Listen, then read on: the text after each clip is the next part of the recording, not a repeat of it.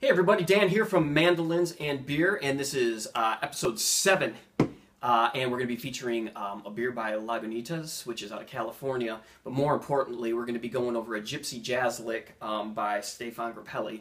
And um, it's, it's, it's awesome. It's a, it's a doozy of a lick. It's in B flat, and it's actually um, it's pretty complex, so I'm going to break it down into two episodes. So this week's going to be the first four bars there's a little pickup line in there too, so I guess technically five bars. Um, I've also I've got the tablature that you can download. Um, so you can go to the YouTube channel, and in the description below, there's a spot to go download this uh, tab. It's free. I also did that with the Bill Monroe lick, and I'll try to go through and do the other ones as well, and so you'll have some tabs to go along with them. Um, and uh, please subscribe to my channel if you're watching this video. Please just take one second, click under the subscribe button. Um, I'd really, really appreciate it. Uh, and um, uh, it'll help me get more stuff to do giveaways with. And um, and uh, I really enjoy doing it. I thank everybody for doing it so far. Uh, please go to the Facebook page and like it. And mandolinsandbeer.com is being built right now. And stickers are being shipped with the new logo, which is at uh, was at the very beginning of this video. So I'm really excited about those as well. So without further ado, the lick.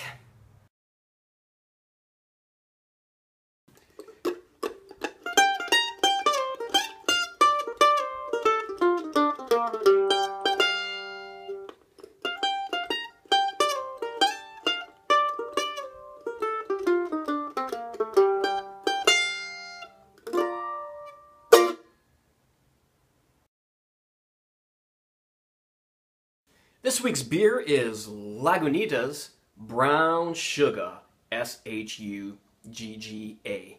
Um, it is billed on their website, their little bottle cap. Uh, it is billed on their website as a strong American ale, and strong American ale it is 9.9% alcohol. Um, and you would never know. This tastes so good. Um, you could easily easily drink a few of these before you realized it was too late. Um, so fair warning. But they're fantastic. Uh, their description here on the bottle, which is great, is uh, we believe the special ale is something unique. Feeding brown cane sugar to otherwise cultured brewery yeast is akin to feeding raw shark to your gerbil. It is unlikely to ever occur in nature without human intervention. And it looks weird besides.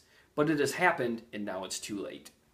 Uh, this is is fantastic. They make a couple really, really good beers. Um, but this one was recommended to me from the actual distributor who I got to meet and uh, got hooked up, up with this sweet little uh, mason jar type uh, Lagunitas thing. Glass, which is good, um, which I would definitely recommend. It smells really, really good as well. Um, it's fantastic. I recommend it. Lagunitas. You can go to lagunitas.com and read up more about their beer. But the brown sugar, again, fair warning. Um, one will probably do you, and uh, will also make your cheeks red. so, let's go to the breakdown. All right, the breakdown. First thing you're going to notice about this song, um, if you listen to the Django, Django version of this, is that it is super fast. Um, but what makes the part so great is that it's um, it's got swing to it. Even though Grappelli's playing really, really blazing speeds, he's still got feel and bounce to his playing, which makes his playing so remarkable, as opposed to just playing a bunch of notes super fast. He's got a feel to it, even though he's playing very fast. So what I would really emphasize if you uh, are working on this this particular lick is just play it slow and just kind of give it a bounce, give it some swing, and, and I'll kind of show you a little bit of how to maybe do that in a minute as we go through the lick. Um, but anyway, the lick is four bars with a little bit of a pickup at the beginning here, which starts on the and of three. So if we were to start this off, we're going to start on the F, F and G, and uh, it will start on the and of three. So it'll be one, two, and three. That's it. There you go. So that's the very first part, the little pickup line, and then we go into the the first real bar of the lick, and um, it's just between your B flat octave notes. It's all going to be right in here for these for these next two bars. Um, you know, your B flat note on your A string and your high, B flat note on your E string. So the first note is going to be B flat to G, and then you're going to do a little slide here from D to C and end up on the B flat.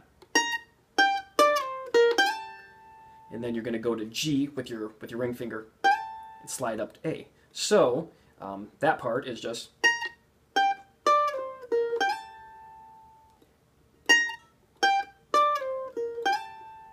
we're going to start from the beginning. One, two, three.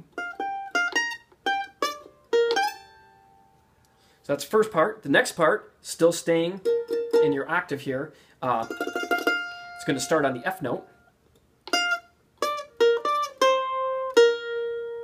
So we're going to go F, D, B flat, D, C, B flat. And uh, in time it's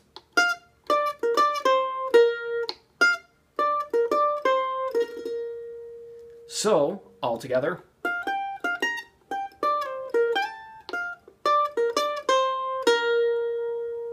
Now, here's where I think the swing part is the most important. The next notes, we're gonna end on this B flat here, and then you're gonna go down a major scale. It's just gonna be going down the major scale of B flat.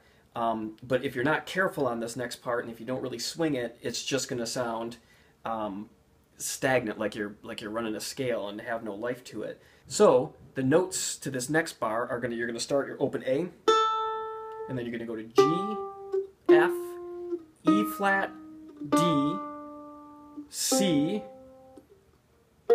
B flat, A. Those would be eight notes. But it's just going to sound bland unless you put a little swing into it. If you just play it straight. Let's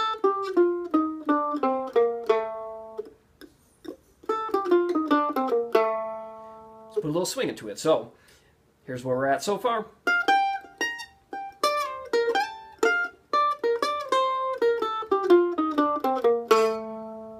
And then the next part is just going to be open, open low G note and high E G note.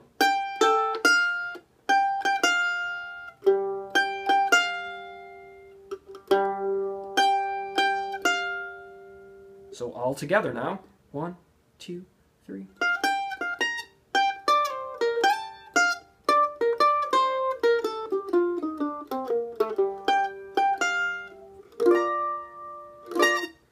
So again, some bounce to it. Otherwise, you're just going to play it and it's going to be like...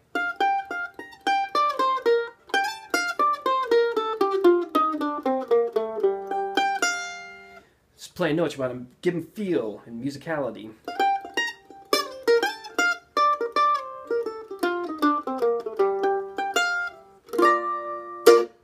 So that's it for part one. Next week, part two of this lick.